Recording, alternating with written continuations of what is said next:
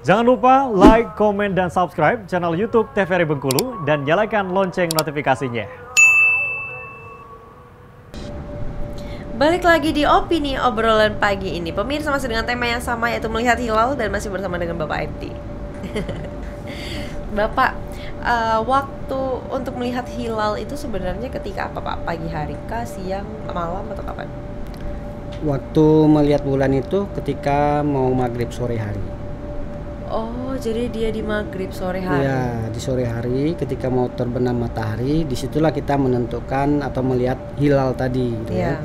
Karena dalam Islam pergantian hari itu bukan tengah malam jam 12 malam bukan, mm -hmm. tapi waktu maghrib. Oh, jadi, oh, jadi gitu masuk maghrib berarti berganti hari baru gitu. Mm -hmm. hmm. Bukan jam 12 malam bukan ya. Bukan jam 12 malam gitu. Tapi ketika maghrib itu nanti masuk, masuk hari, hari baru. baru gitu dalam Islam itu. Jadi makanya dilihat e, bulan itu dilihat sebelum maghrib itu ada nggak dia gitu. Tapi kalau ketika mau maghrib tidak terlihat bulan sudah hmm. selesai berarti belum hari baru gitu kan belum bulan baru maksudnya belum bulan baru hmm, ya. makanya sidang isbat juga dilaksanakannya ya, setelah, setelah maghrib, maghrib ya, ya setelah penentuan lihat bulan tadi gitu kan hmm. nah, luar biasa juga ya bapak ya. ya. Jadi kalau bagi kita uh, uh, hari itu dimulai maghrib itu hari baru. Hari baru hmm, di ya. maghrib. Hmm, ya. Oke. Nah apa nih pak yang dirindukan dari bulan suci Ramadan pak? Ya banyak itu kan. Apa kita, selain takjilnya ya? uh, sebenarnya kan Ramadan itu kan apa gitu ya bulan yang bisa menghapuskan dosa Benar. kita. Gitu kan. Pahala berlipat ganda ya, di bulan gitu kan. Jadi kita harus bergembira men menerimanya kan menjalaninya dan suatu keuntungan yang sangat luar biasa diberikan kepada umat kita. Maka Ramadan itu adalah bulannya umat Islam, bulannya, bulannya Al-Quran. Kenapa? Karena di situlah Allah memberikan nilai yang sangat besar bagi umat Islam itu, gitu kan? Jadi e, keberuntungan kalau kita bisa mengisi Ramadan dengan sebaik-baiknya itu adalah keberuntungan kita kan. Kan jadi ibaratnya dikatakan kalau terhapus dosa-dosa kita Aha. maka di sawal itu kita seperti ibaratnya seperti kertas putih lagi kan segala Bersih dosa ya terhapuskan dan itu adalah bagi kita orang beriman itu adalah suatu keberuntungan yang sangat besar mm. jadi eh, kita ini kan di Indonesia ini kan sering apa gitu ya sering uh, kurang pas lah gitu ya. Mm-hmm. Jadi ibaratnya kalau udah lebaran itu pakaian baru, semuanya serba baru mm-hmm. gitu kan. Padahal yang seharusnya uh, apakah nilai keimanan kita semakin bertambah, ibadah kita semakin bagus mm-hmm. gitu kan. Karena Ramadan itu kan apa ya? Uh, membentuk pribadi kita supaya uh, ibadah-ibadah tuh ditingkatkan terutama di 10 malam terakhir kan ya. kita mengejar Lailatul Qadar gitu mm -hmm. kan nah jadi Lailatul Qadar itu kan sebanding dengan 83 tahun lebih iya iya nah sebel karena sebelumnya umur umat-umat sebelum umat Nabi Muhammad kan umurnya panjang-panjang. Iya benar. Jadi bisa beribadah panjang. Sementara kan kita 60 antara 60 70 tahun mm -hmm. kalah dibanding mereka. Jadi Allah berikan keutamaan pada Ramadan tuh satu malam itu beribadah sebanding dengan seribu bulan 83 tahun.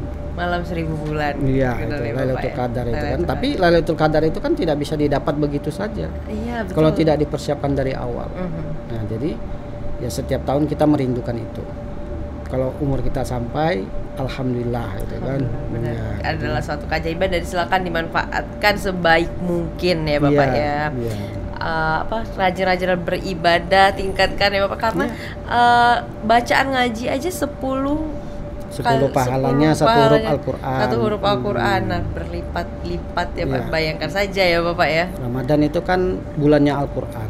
Jadi perbanyak membaca Al-Qur'an karena di Ramadan Al-Qur'an diturunkan mm -hmm. ya kan dan kita seharusnya tadarusnya itu kan membaca dan merenungkannya, mempelajarinya. Jadi nggak cuma baca aja. Ya, kalau ya ditingkatkan. Kalau misalnya dulu cuma baca aja, kita renungkan, kita pahami maknanya dan yang paling utama kita amalkan. Nah, itu yang lebih baiknya ya, ya Bapak ya. lebih baik.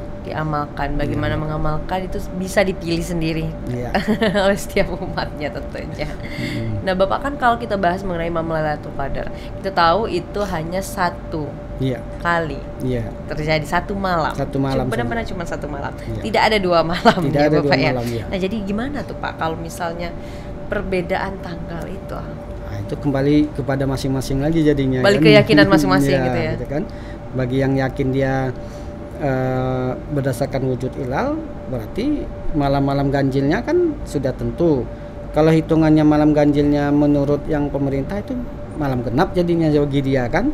Tapi bagi pemerintah malam ganjil, bagi Mhm. yang Muhammadiyah itu malam genap, ya kan? Nah, kalau mau Rasul kan menekankan eh, paling tidak malam-malam ganjil. Tapi kalau mau dapat semua sepanjang 10 malam tuh ikuti saja terus. Jadi. Iktikaf 10 malam itu. Nah, Oh, insya gitu Allah, caranya ya. ya insya Allah dapat salah satu malamnya kan. Nah, itu Mhm. kalaupun tidak ganjil, memang dianjurkan yang ganjil. Tapi kalau tadi kita khawatir perhitungannya, ambil saja semuanya.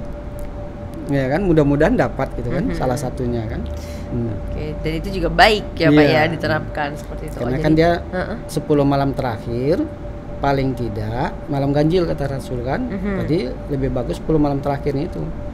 Full. iya. jadi ibadah 10 malam terakhir tuh semakin ditingkatkan gitu ya Pak. Iya. Tapi bukan cuma karena mengejar malam itu aja ya Pak ya, tapi Iya. memang dari awal pun Dari awal. memang sudah dijaga tarawihnya dan lain-lain seperti itu ya Jadi Bapak. kalau dia malam awal-awal Ramadan tidak mau beribadah, tidak tarawih, tidak itikaf, kemudian uh saya ngambil malam 27 Ramadan saja katanya. Tidak. Langsung ditargetkan Iya, gitu ya Pak ya. Tidak Itu. bisa I- ulama sering mengatakan Aha. Lailatul Qadar itu seperti tamu, seperti itu. tamu agung gitu kan. Mhm. tamu agung itu dia tidak akan singgah ke rumah orang-orang yang tidak mempersiapkannya. Nah, itu kan. Jadi siapa rumah siapa yang mempersiapkan dia? Nah, jadi persiapan dirinya itu maka baru dia nanti akan mendatangi. Jadi di masa Rasul pun tidak semua sahabat juga dapat gitu. Oh iya ya Pak ya. Iya.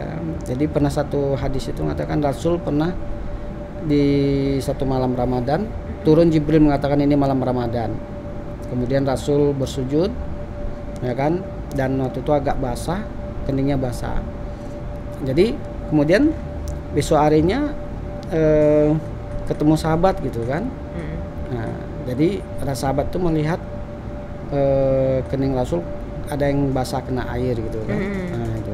Jadi jadi Rasul ditanya kenapa Rasul waktu itu keningmu berbasah. Nah, Ya. Rasul mengatakan sebenarnya aku ingin memberitahu pada malam itu malam Lailatul Qadar cuma terlupa kan.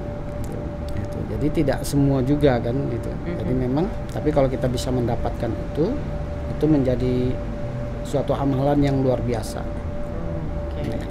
Dan tidak semua orang tapi sayangnya ya Bapak ya Iya tidak semua orang tuh. bisa menemui menjumpai malam itu. Dan Iya. katanya kalau misalnya kita ketemu bertemu dengan malam Mm-mm. Lailatul Qadar itu Iya. tidak boleh diberitahu, tidak boleh diceritakan dengan orang lain. Benar Pak seperti itu? Karena kita kan tidak tahu apakah itu malam Lailatul Qadar atau tidaknya. Mhm. Oh iya. Jadi kita tidak bisa memastikan oh saya dapat malam Lailatul Qadar. Tapi ada tuh Pak biasanya tuh yang menceritakan seperti itu. Saya mendapatkan malam Lailatul Qadar. Eh, ya saya tidak tahu pasti apakah dia karena Rasul pun ketika Tidak itu tahu ya. kalau tidak diberitahu Jibril, Rasul juga tidak tahu waktu itu. Mhm. Gitu. Jadi makanya artinya kalau bisa eh, kita menentukan itu, maka cuma Rasul kan mengatakan eh, 10 malam terakhir itu pertama.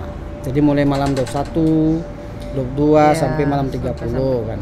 Kemudian paling tidak malam-malam ganjilnya gitu. Karena Kan. dia dipastikan diganjil. Eh, kemungkinan Kemungkinan besar ya, diganjil. jadi gitu kan jadi itu tadi ambil malam-malam ganjil memang ada sih yang menentukan malam Lailatul Qadar itu malam 25 malam 27 Mhm.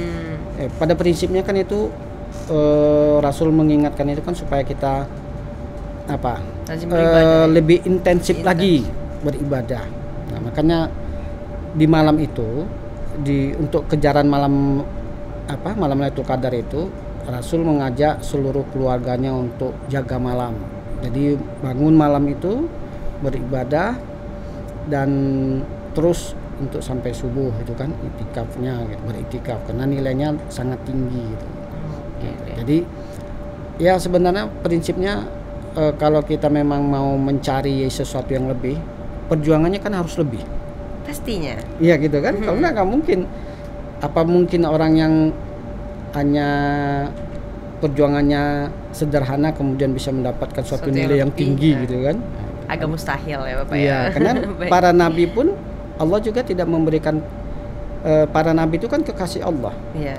Coba lihat mereka kan berjuang mati-matian menyampaikan dakwah Mhm. baru mereka mendapatkan nilai tinggi di sisi Allah. Oke, baik Bapak kita jeda dulu ya Bapak, nanti kita lanjutkan lagi. Untuk pemirsa jangan ke mana-mana, tetaplah bersama kami di Opini Obrolan Pagi ini.